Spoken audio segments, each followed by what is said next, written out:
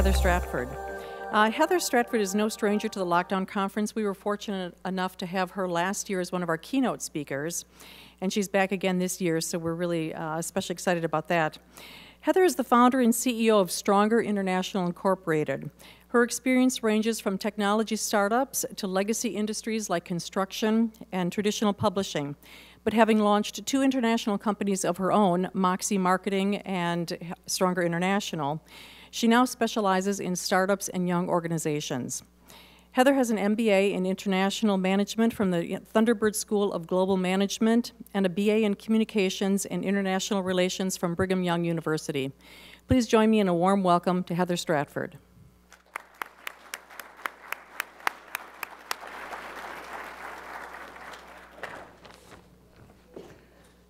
Thank you. Um, can everybody hear me okay? All right. The toughest spot is right after lunch. All of you are going to try and go to sleep on me, and it is my job to make sure that doesn't happen. Uh, it's a really important topic and one that I speak on quite a bit. But let me just tell you a little bit about myself because one of the things that's hard when you come to a big conference is you're kind of detached, right? You can sit there and check your phone and, and not interact very well. So let me tell you a little bit about myself. So I, um, I have five children. I have been to 35 countries. I love making crepes for breakfast. And I am a pretty decent mountain biker and can go down some black diamond trails um, like nobody's business. So that is, that's a little bit about who I am. So today we're going to talk about the cyber tsunami. And I like that word because it's not overly used in the media today, but it really brings out this idea of a huge wave coming towards us. And we're in the industry. We know it's coming. And oftentimes we're almost like the, the, the bell ringer. The wave is coming, the wave is coming, and we're trying to let other people realize what's really coming our direction before it pummels the beach and, and, and takes out the pier and everything else. And so this is a very accurate word for where we are right now. So I'll just keep talking. The cyber tsunami is, is the topic.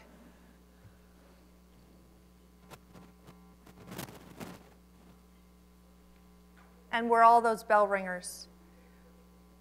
But there are several things that are coming our direction. We're in an industry that's, that's changing rapidly. So 20 years ago, you didn't have data protection officers. You didn't have cybersecurity CISOs. I mean, that, that wasn't in the lexicon. It just wasn't there. And so things have shifted, but it, they're continuing to shift. And so my talk today is on all those different things that are on the horizon. Sometimes you get involved in, in your daily job and you're busy. You're putting out fires. You're head down looking at what you have to look at. And it's rare that you lift your head, you look around and say, oh my gosh, things are really changing. So this is to have you think about what's on the forefront of our industry. What is changing things now um, and what's stayed the same. All right, perfect. Thank you for your help. Okay, so um, I love this image. I think all of us can relate to this because you look at it and you say, oh yeah, head in the sand. How many of you have some stakeholder that's in either your department or above you that this represents? Come on, hands up. Do you have anybody in your organization who says, oh, well, that's not a problem? Well, we didn't have to deal with that five years ago. Well, why do we need budget for this now? What do you mean it's a regulation? I've never heard of the regulation, right? How many of us have this? Yeah? Okay, so that's the one thing we have in common, right? And because our industry is changing so rapidly, this is, this is inevitable, right? Our job is to help explain this is why, this is what I need, and this is how it's going to help the organization. Whether that organization is a large university, like the University of Wisconsin Madison, whether it's a small company that's privately owned or whether it's government. Everybody needs to know why is it important? So the data breach statistics. I took this about six weeks ago. Uh, the numbers are perpetually changing. But the main thing is, since 2013, the number of stolen records increases, increases, increases, right? This is not new to us. But it's great for you to be able to tell those stakeholders, hey, every day, every day, that's a lot of, you know, a lot of zeros there. I put my glasses on. I'm starting, I just got these like three months ago and I'm still getting used to it. Okay, every second, 58 records are sold every second. That didn't happen 20 years ago. Why? We had our own little network. We weren't connected in. We didn't have cloud, right? We didn't have all these, these other things that are evolving. So there's the problem, right? So how are we solving that? Okay, current trends. We're going to go over all these areas.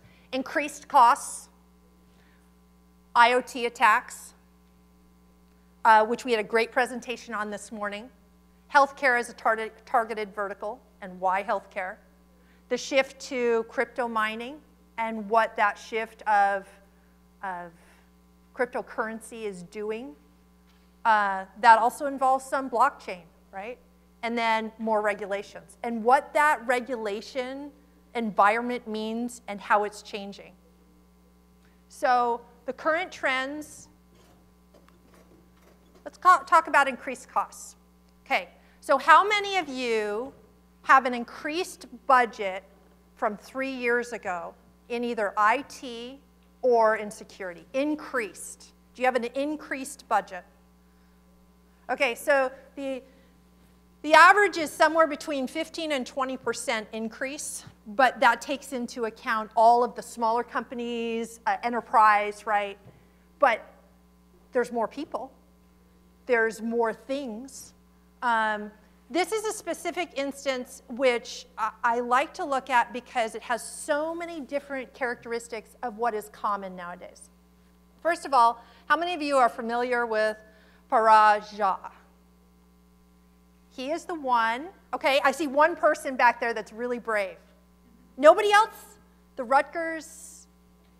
Okay, all right, so this is two people, two people. All right, so he, uh, he was a student, a very bright student, who got into the system and said, well, what can I do? What can I do? What can I do? Okay. He still lives at home. He uh, decided to create some malware.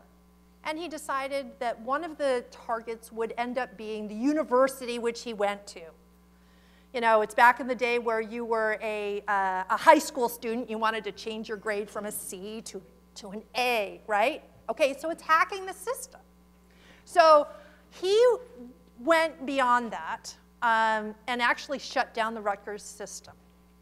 It, uh, and slowed it down, and he targeted it at a very specific time so that it would make the most disruption for faculty, staff, and students signing up. Okay. They estimate that the cost was between, and I think this is a huge range. I mean, I think lawyers got a hold of this, so I have no idea, but somewhere between 3.5 and 9.5 million dollars was estimated as the damage that they incurred. Now, he pleaded guilty in a Trenton courthouse um, to this offense. What's sad is they can't pin all the other things that he did on him because he gave his secret sauce to other hackers. And they went along and helped, and, and the virus of 2016 is attributed to him. Now, what do we learn from this? This is something that's going to happen more and more. First of all, now he wasn't faculty and staff, but it was an insider threat, right? It wasn't somebody completely unfamiliar with the system. Another thing is that it, it uh, took a while, but finally went through that legal system.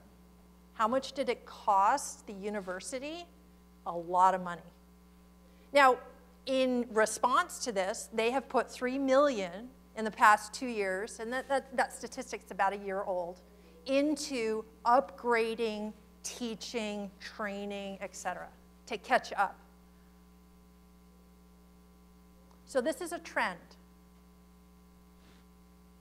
Increased costs, both on how much is in your budget, how many people you have to fight it, but also it crosses that legal side, right? And when you cross that legal side and you start racking up, then, then you, the, all the costs are increasing. Okay, let's talk about IoT attacks. So we had a great presentation this morning, and I wanted to go into just this one, uh, a couple specific examples. So medical is a specific example of where IoT becomes very scary.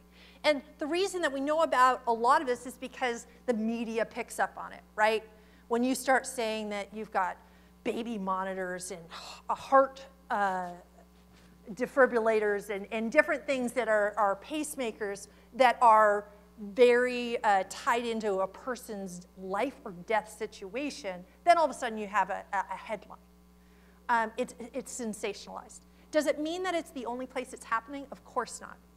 So um, they say that uh, 4 um, 8.4 billion connected devices were cataloged last year, so 8.4. So what's the guess for 2020? That's a year and a half away. How many connected devices on IoT are estimated? Anybody going to be brave? Say it, say it louder. Yep, yep. So it's between 20 and 21 billion devices. Look at that exponential growth. We're talking about trends.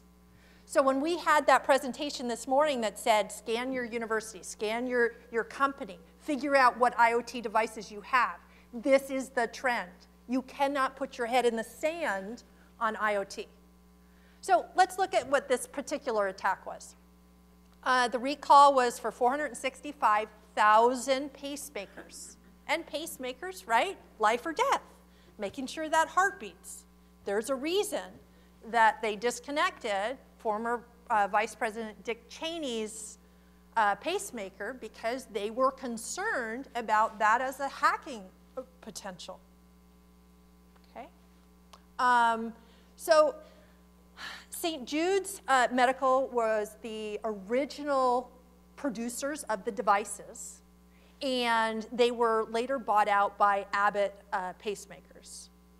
I'm not sure Abbott really knew what they were getting, but they got it anyways. And um, this shows us another trend. As companies gobble up other companies, what happens? You get their staff, you get their IP. What do you also get? You get their risk and you get their policies and what they've done, right? So, right here, Abbott pacemakers inherited a huge mess. Do you know the most recent patch to these pacemakers was in April of 2018? Okay? So, it's a continuing risk and it's a continuing problem. Talk about their bad press and publicity. This was huge, right? they bought something they thought, and, and it, uh, it kind of unraveled in the, in the media on this. Okay, so what did we learn from the, this IoT attack? Medical is a huge vector that is being attacked. It is sensationalized in the media, and yet it is a place where uh,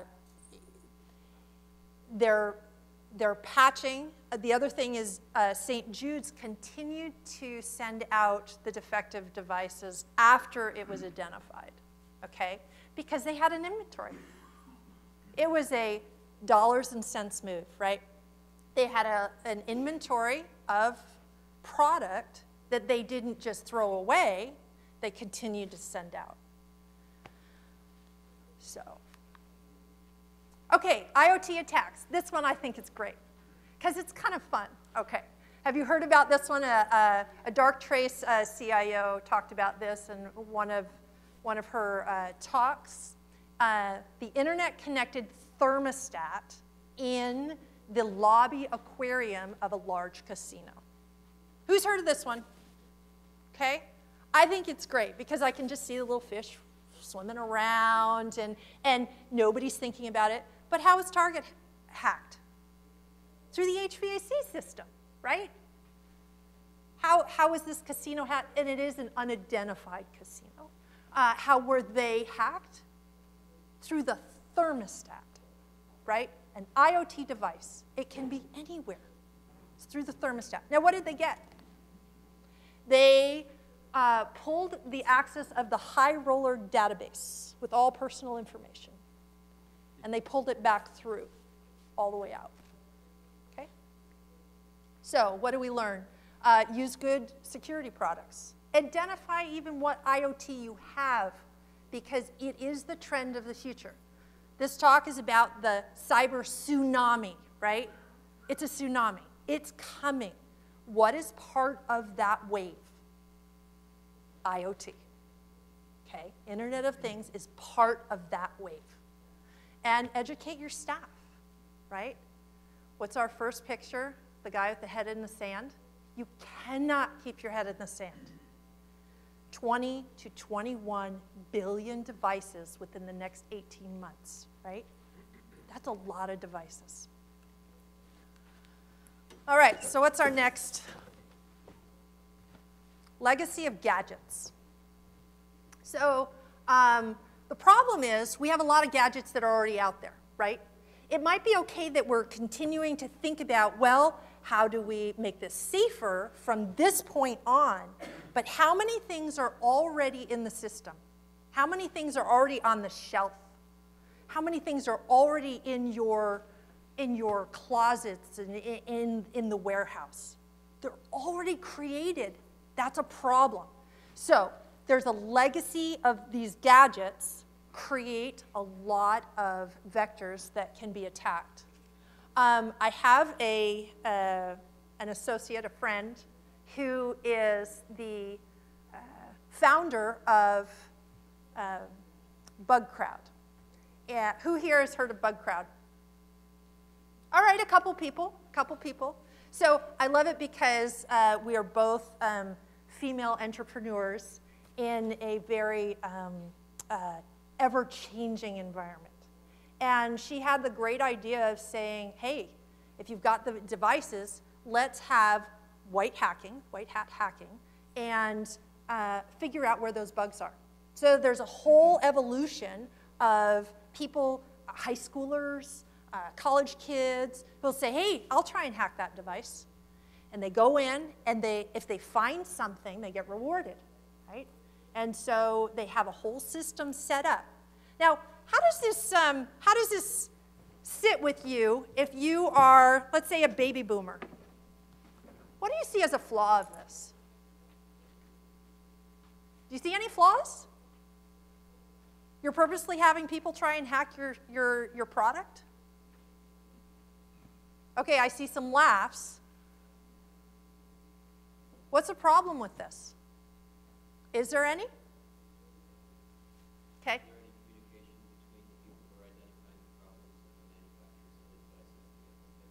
Yes. So that's the whole point. So it's like a marriage. They say, we really want to make sure we're safe, and they're actually hiring people to, to do this. It's the new wave. We're talking about the wave of the future, right? The wave is if you have a small company, and let's say, I don't know, you have a pacemaker, you might have a staff of 10 people. Maybe your IT team is 20 people, but you only have 20 minds. What happens if you could get 100 minds? And they were all thinking about security.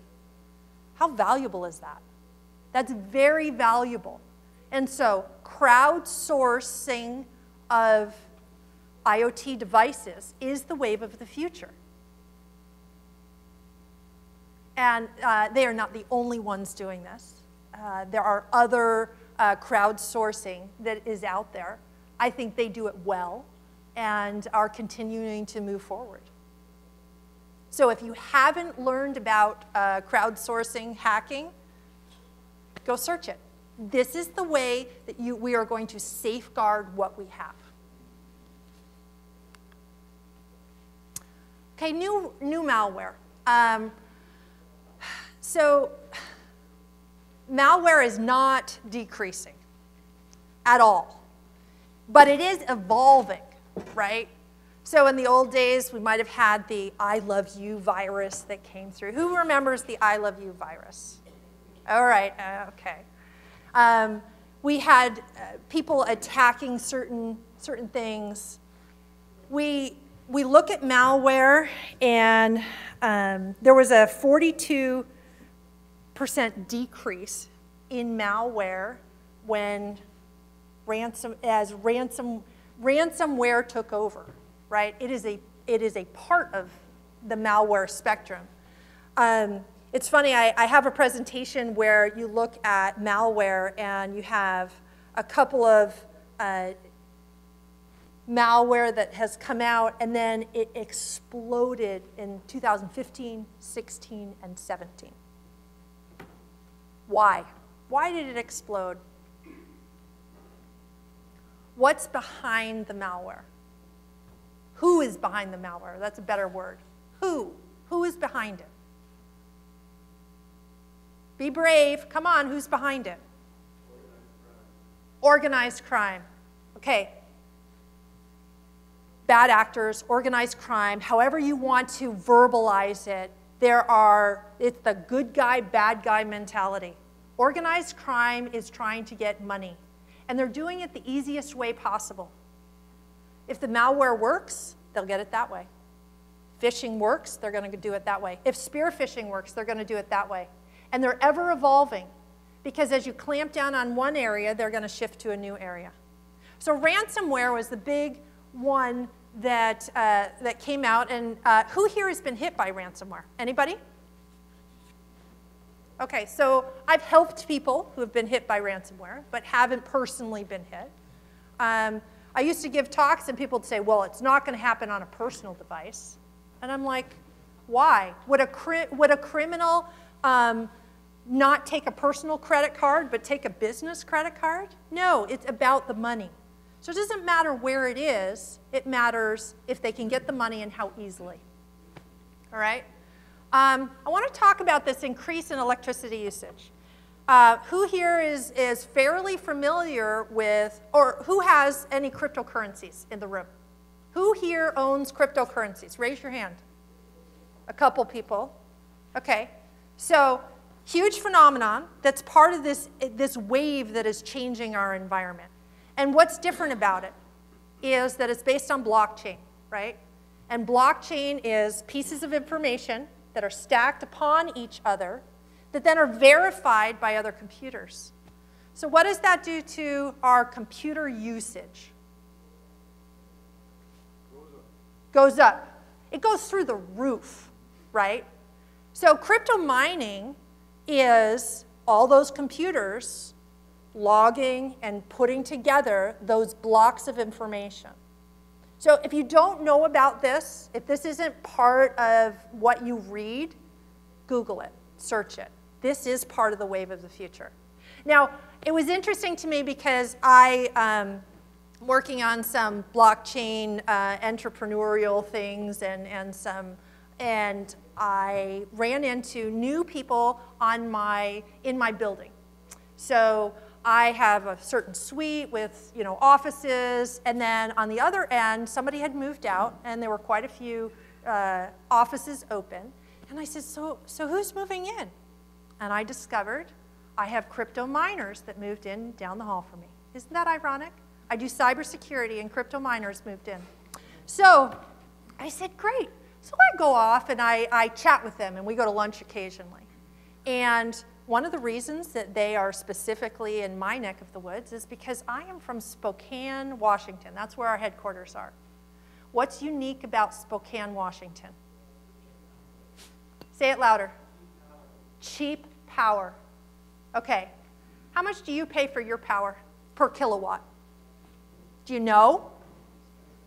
You all run computers, you all have a house. How much do you pay for your kilowatt? Too much. I like it. I like it. Okay. Um, so in Spokane, uh, we pay 5.6 cents per kilowatt. So that's about 40 to 50% lower than the national average.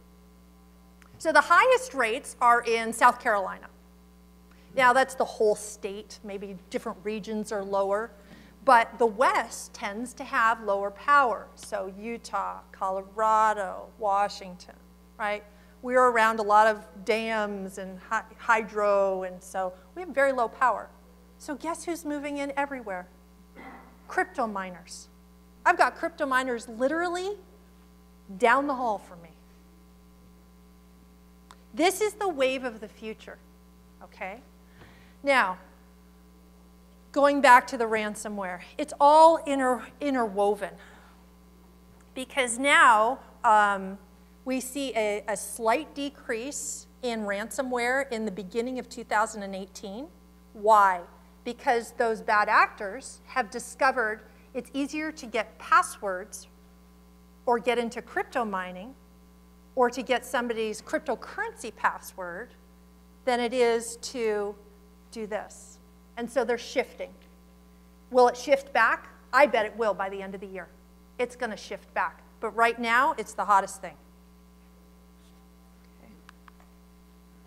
So stay with what works. Ransomware attacks grew threefold in 2017. Now, I just mentioned that in the beginning of 2018, they dipped.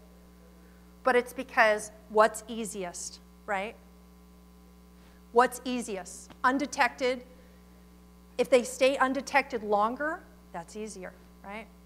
Most traditional uh, anti-malware tools rely on a signature file to detect and block the threats.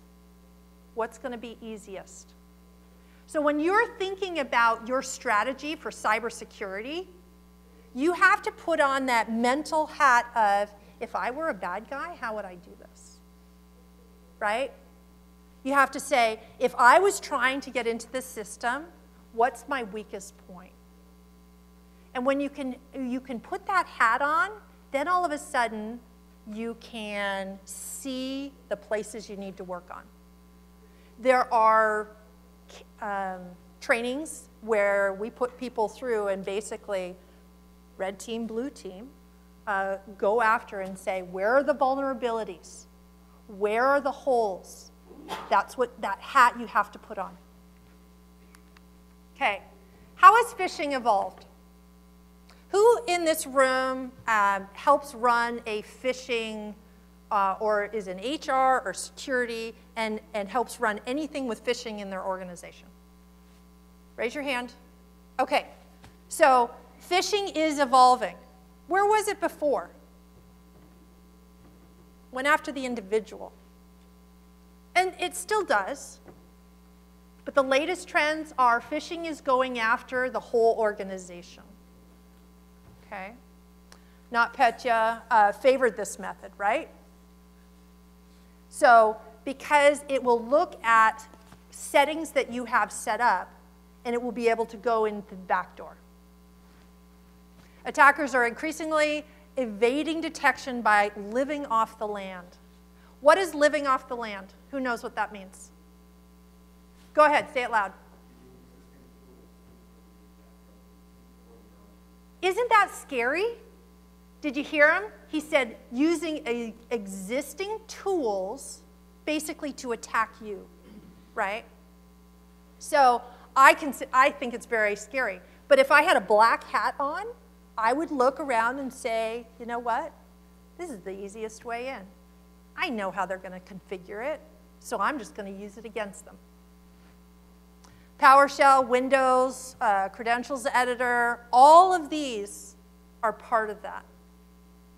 Okay, so how many in this room use one of these platforms? Raise your hand higher, higher. Okay, realize that that is where the attack vectors are shifting. Okay, more regulations.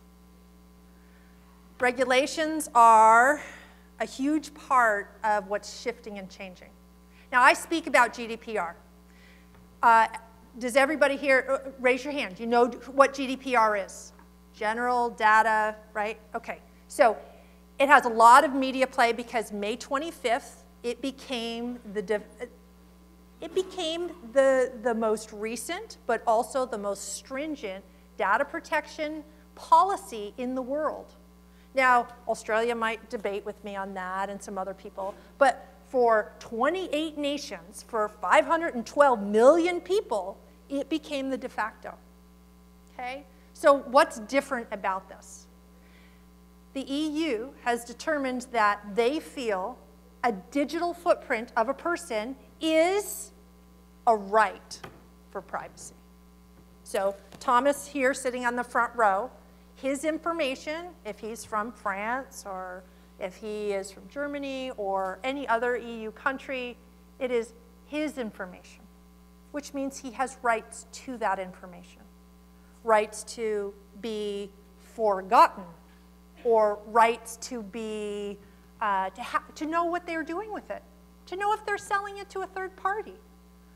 I've often hated signing up putting my email address. How many of you have a fake email address just so you don't have it? Okay you have to right because if you give them your real email address it ends up on who knows where and you didn't give them permission to give it to that third party who sold it to the next pers- person, and all of a sudden you get all this junk, right? That's the whole issue, right? That's the issue. Do you have control and should you have the right to privacy of your own data? The EU has come out and said, yes, we believe you do. Now, the US right now is still kind of behind the scenes on that. They don't, we don't have it any place that it's right. We have a, the right to life, liberty, and the pursuit of happiness, right? But not to the privacy of our data. Now, will that change? Maybe. But this is not a debate about GDPR. This is about looking at what the future is bringing. And the future is bringing a tidal wave. And part of that tidal wave is regulation because everybody said, How come I have to have a second and third email just so I don't get junk email? How come? Right? Well, the reason is because we don't have good laws or, or we haven't really, it hasn't caught up to it, right? We're evolving in IT and as a, as a nation and as a world faster than people can regulate it. Well, regulation's coming. So as you see as you see this coming, it is, it is, um, it is here. So the GDPR went into effect May 25th. Already, there are uh, fines going, or, or they're starting the process. Now, I had a conversation with somebody at lunch about the GDPR. And what did we discuss? It's really about how to change behavior they're not trying to say, hey, you, Google or, or Facebook, who's here, uh, or, or anybody else, we want to go after you. What they really want to do is change people's behavior. And what do they want?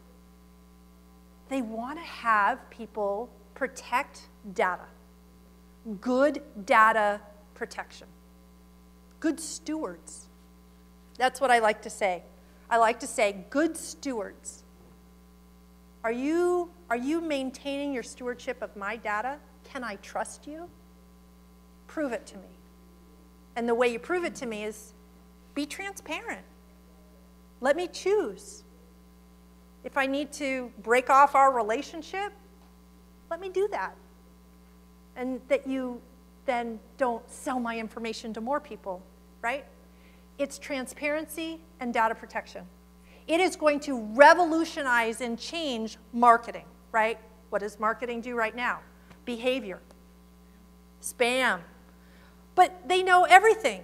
They know that I searched up, um, you know, going to Hawaii. So now I get all these ads for Hawaii, right? They know that I searched this. Like, marketing is going to change. So, how is it really, how, how are they going to do that? How are they going to stratify that? That's the new wave of regulation. And people are arguing about it. And I'm not here to tell you it is right or wrong, it's good or bad. What I'm here to tell you is it is here. Get your head out of the sand because it is coming.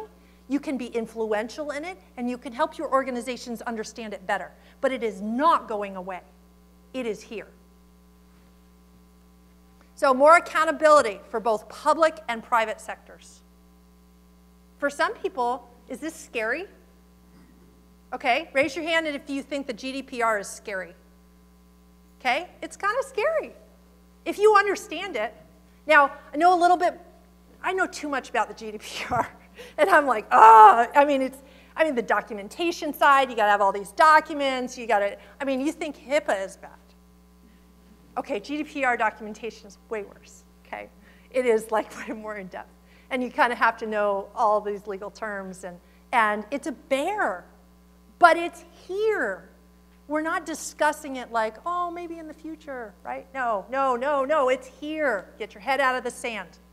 Now, what, what is the US doing about this? Well, right now, we're scrambling and trying to figure out our own identity on these issues. So you look at uh, New York. New York recently passed um, the NYDFS. So the New York Department of Financial Services in February 16th of 2017 passed more stringent regulations for anybody that is in insurance, banking, loaning money, uh, you know, all these areas, anything with financial, right, that hits through New York. Well, how many companies are in financial that don't have something in New York? I mean, really, right? So, formal risk-based cybersecurity programs. They, it is a 14-point cybersecurity policy that is mandated. Seven-point incident response plan that is mandated in the regulation. Okay? Um, 72-hour notice in the regulation. So there's crossovers between this and the GDPR. Are they the same? No. Are they both trying to think about how to regulate and properly address issues? Yes. This is what New York has tried to do. Okay? California. Who's familiar with the AB 375? Okay, we've got some people who do know what it is. Okay? This happened about the same time that the GDPR was going through, but the GDPR got all the press coverage, right? Instead, this is about inalienable rights of privacy for Californians. Now, California is the fifth largest economy in the world. It used to be sixth. It's overtaken Britain again. And so it is now the fifth. So some people say as California goes, so does the rest of the nation, right? Mainly because auto manufacturers, other people, if it has to be compliant to California, it's kind of a de facto, right? So California passed this, and it has some crossover to GDPR, but very different in other ways. It passed through the legislature, but it has not been ratified by California residents. There is a 18-month window it is not going into effect until January 1 of 2020. And they're already trying to clarify ambiguity. Because that's the problem, right? As an IT professional, you're like, well, what does this mean? How do I actually incorporate this? Because I can't tell what some, somebody in you know, Washington or somebody in uh, Sacramento made this gobbledygook. What does it really mean? So they're trying to clarify it and, and understand it, hopefully it'll get better and not worse, right? But they're doing a huge attempt. Now, I put up here one of the things that's really different. So it allows consumers to sue companies for unauthorized access as a result of a business violation. All right, this is a big shift in regulation. So what this California regulation will do is let's say I have a company in California and I make pacemakers. And for some reason, I didn't do my job and I didn't hire the right people and I didn't have my security plan in place and I was very negligent. If I get breached, then those consumers can actually sue me. This is where IT is going to cross over into legal. Okay? Now, this is, this is kind of precedent area. And it's somewhere between 100 up to 750. And here's the catch without having to prove they have been harmed by the data breach. So you can probably easily say a heart monitor, right, or a heart pacemaker, oh, I've, I've been harmed. But if you don't have to prove that you've been harmed, that's a whole different ballgame. It just has, you have to prove you've been breached. All right, so the Joneses, trying to keep up with the Joneses. It is a hard job. You look at the person next to you and go, oh my gosh, are you doing that? Are you set? Are you set? Right? You need resources, training. Don't have this mentality. You don't have to keep up with the Joneses. All you have to do is keep up with you and your organization. Because wherever you're at, you can become stronger. That's actually the name of my company. Because some people we talk to, they're way down here. They have no policies, they have no infrastructure, like they're way down here. We help them move up one level, right? Then you have people who are way up here. They've got their 72 incident response plan, like they test it, like you're like, wow, they're rock stars. They have all of this together. Well, they might be up here, but you know what? They can improve too. Because maybe they don't know anything about the GDPR, and all of a sudden they have to be compliant. So everybody has a place to move. Do not feel like you have to keep up with the Joneses. Take inventory of where you are and move from there. So, how do you stay current?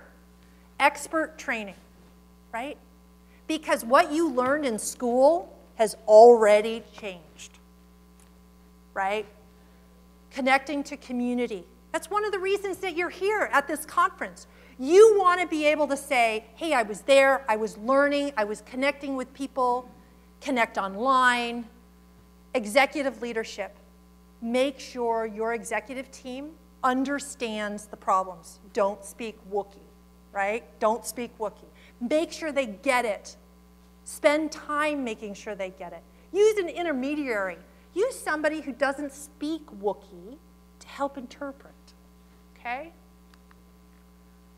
I know that you can do it and become stronger. And if you realize this wave that's coming, you're better able to not stress about it and be able to plan what you're going to do about it and I will take questions now. Thank you.